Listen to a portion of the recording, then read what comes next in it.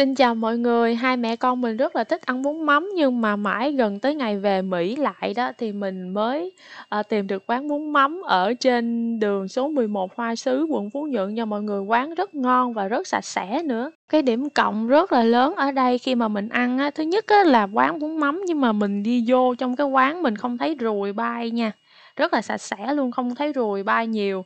Và trên cái bàn á thì, ờ, mình để cái tay lên cái bàn, mình thấy cái bàn nó rất là sạch, nó không có cái sự rít nha. Bàn được dọn dẹp rất là sạch sẽ, bàn ghế ngồi cũng rất là thoải mái, không gian cũng rất là mát.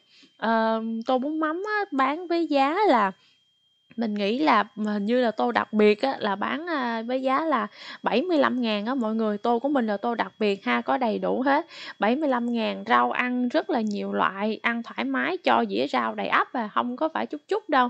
à, thịt về phần nhân á thì có, um, à, thịt heo quay nè, có cá lóc nè, cá lóc còn ta có tẩm nghệ ở ngoài á mọi người, trên mình thấy là cái miếng cá nó rất là vàng.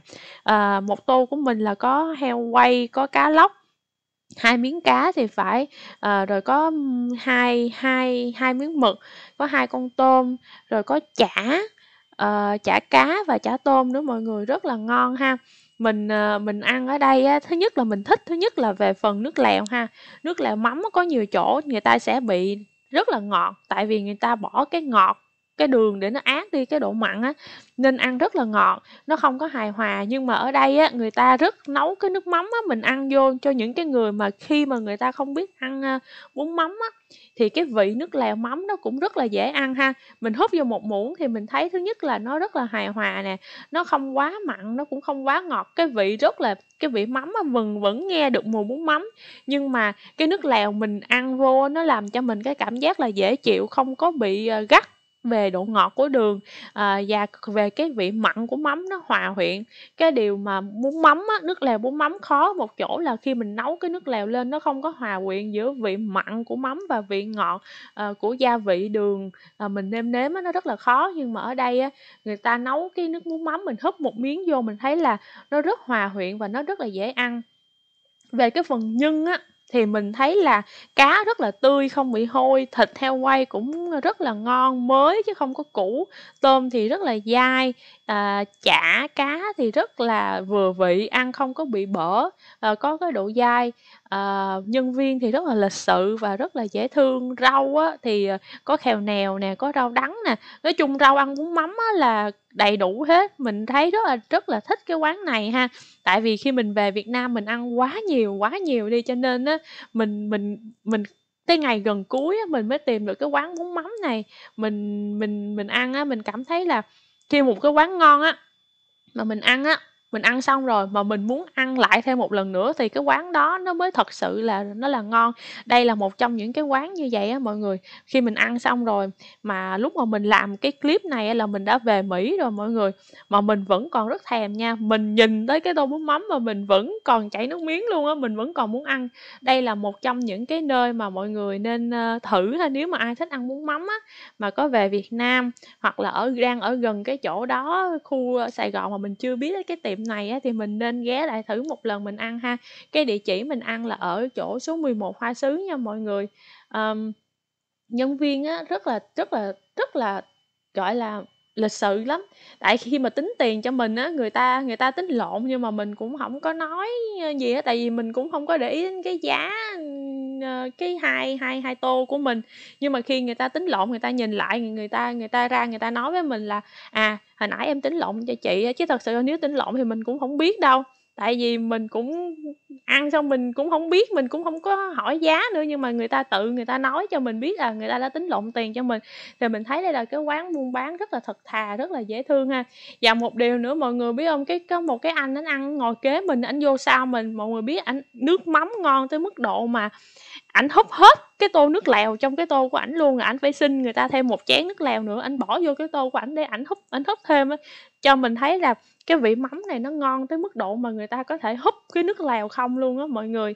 Cho nên là ai mà thích ăn bún mắm nhớ nhớ tới địa chỉ này nha. Mình không có phải là người review food, thức ăn á, mà mà để kiếm tiền á, mình chỉ thấy là, ờ, chỗ nào ngon mình giới thiệu lại cho mọi người ăn để cho mọi người sau này mà có ai về Việt Nam mà thích món này người ta ăn người ta không có bị hụt hẫng á.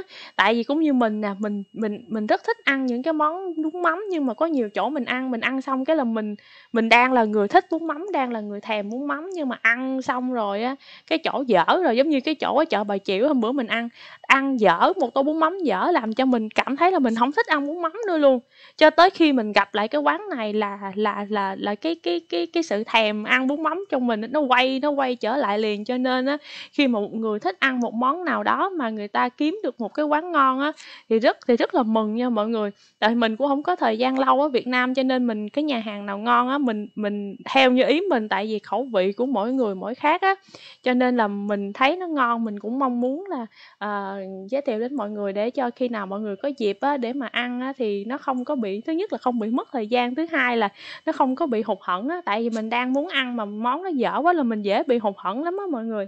Nè, mọi người thấy không nè, miếng chả cá nè, đó, dày lắm nha, mình cắn vô một cái nó có rất là nó có cái độ rất là dai ha, mà có vị thơm của cá, của tiêu nữa, rất là ngon nha mọi người.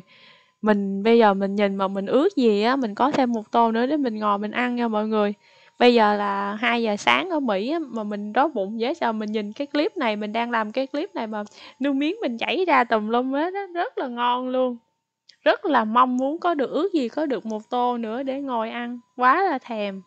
Chút mà ăn thử tô bún canh cua mẹ ăn với con vài miếng coi ngon không? Ừ, bún mắm thì ngon đó.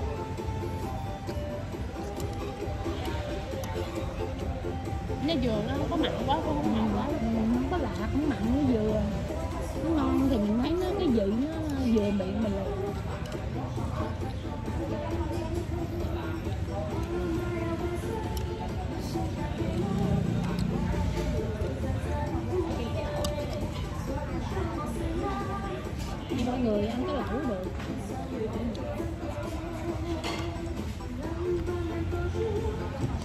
Nè, mọi người có thấy hông nè? Cái cái chỗ mà người mấy cô múc nước lèo cho mọi cho mình ăn nè, mọi người thấy hông? Cái nồi trắng bóc à, bóng loáng luôn á, rất là sạch luôn á. Một cái điều thứ hai mà mình thích ở đây nữa là mấy cô bán nước á, rất là giá phải chăng nha, hông có mắc.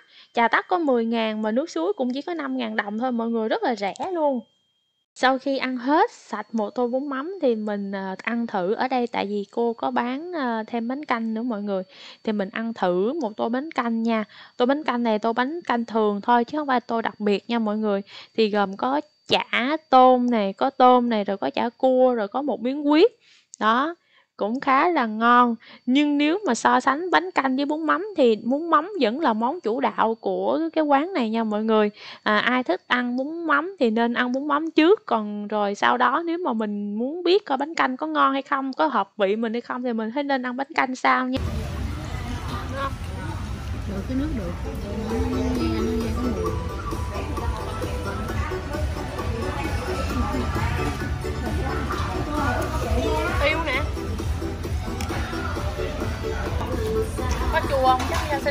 xin cho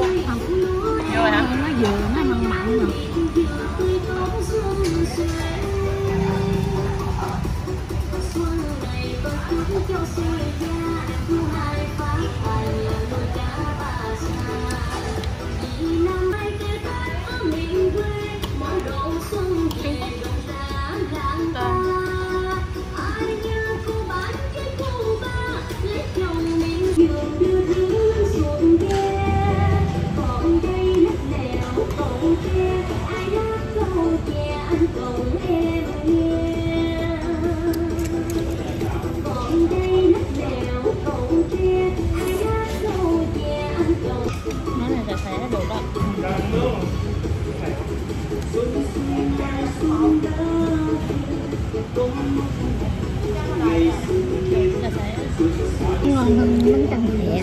Ừ, bánh canh hẹ nó ngon. Ừ, bánh canh hẹ cũng ngon. Ngon, bánh canh hẹ này. Bánh canh hẹ tanh quá. Tanh nó nghe mùi cáo rất là tanh. Bánh canh này nó hài hòa với nước lèo ngon.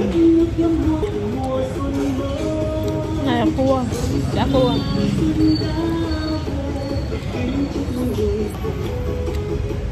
Chả cua ngon cả khuôn ngon nữa nó con ăn con để ý mấy cái gia vị của nó là ngon với cái nước nó, nó không có ngọt. Nó mặn mặn nó, nó ngọt. Theo cái ờ, nước cua nước tôm đó là nó nghe mùi tôm là được. Đây là chả gì chả cá. Cá cơm tôm nó là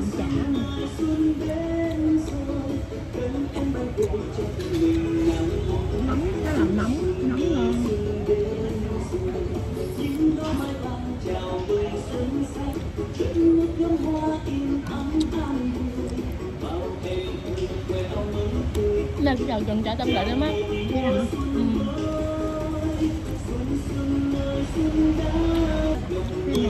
Tô bánh canh là mẹ biết ngon bún mắm cũng ngon bún mắm nó làm cái mắm thơm cỡ giờ mình không biết chỗ đi ăn mình đi nó nó nó nhiều khi nó chất quá ừ, cái quớ mình tấn mình xe ăn huyết cũng ngon huyết cũng nóng nha ừ. nóng từ bên trong còn huyết nóng ra, chứ không phải nóng từ bên ngoài ừ. có nhiều chỗ bán là nóng bên ngoài thôi, còn cục huyết bên trong mới lạnh ngắt à ừ. huyết ở trong nó nóng gì nó mới chín, huyết nó mới ngon 8 giờ tới tối ơn mọi người đã theo dõi clip này của mình nha. Khi nào mọi người muốn ăn à, bún mắm thì nhớ tới chỗ này ăn nha, ăn thử coi có ngon không nha. Bye bye mọi người, xin chào.